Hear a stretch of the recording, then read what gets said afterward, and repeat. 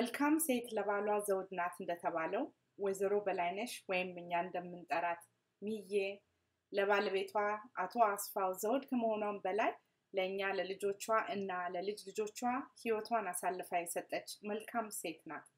ሚዬ ማለት የሁላችንም ምሰሶ፣ ሁላችንንም አብራ በፍቅር የያዘች ሀረግ፣ የደግነት ምሳሌ፣ ትዕግስት የማያልቅባት አንድም ቀን ክፉ ነገር ስትናገር ሰምተናት የማናውቅ እናታችን፣ አስተማሪያችን፣ አማካሪያችን፣ ጓደኛችን ናት። ሄሚዬ እናቴ እንደዚህ አይነት ጥሩና ደስተኛ ህይወት መኖር መቻል በአንቺ ምክንያት እንደሆነ ምንም ጥርጥር የለኝም። ሁላችንንም እዚህ ደረጃ ያደረሽን አንቺ ነሽና በጣም መሰክርሻለሁና ወድሻለሁ። ሀይሚዬ መልካም የእናቶች ቀን እኛን ለማሳደግ እና የተሻለ እድል እንዲኖረን መስዋዕት አድርገሽ እዚህ ስላደረሽን አመሰግንሻለሁ። ደግሞም የፍቅርሽ ሚዛን በደንብ የገባኝ እኔም እናት የሆንኩኝ ቀን ነው። ወድሻለሁ።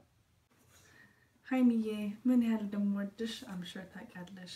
እግዚአብሔርን ሁሌ አመሰግነዋለሁ እንዳንቺ አይነት እናት ስለሰጠኝ። ሀይሚዬ የኔ እናት እወድሻለሁ። ትዕግስት ስላለሽ አመሰግናለሁ። እኔ በጣም እድለኛ የሆንኩ ሰው ነኝ። እግዚአብሔር በሁለት እናቶች ባርኮኛል። እነሱንም እግዚአብሔር ይባርካቸው።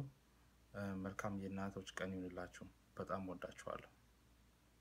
Grandma ወጥቻለሁ በጣም የኔ ደግነሽ Grandma ወድሻለሁ። አያቴ በጣም ወድፈሻለሁ። ትሻለው happy mother's day በእግዚአብሔር ፈቃድ እኛ ልጆቿ ከእሷ ሳንርቅ በአንድ ሀገር ኖረን ይህን መልካም የእናቶች ቀን ምኞታችንን ስናቀርብ በደስታና በምስጋና ነው። በዚሁም አጋጣሚ የሄለን ሾው ኮከብ የሆነችውን የባህላችን ጠባቂ እና የአሁኑ ትውልድ አስተማሪ ሄለን መስፍንን ይህን ፕሮግራም አስባ አዘጋጅታ ለእኛም እድል ስለሰጠችን እጅግ በጣም እናመሰግናለን። ለሁሉም መልካም የእናቶች ቀን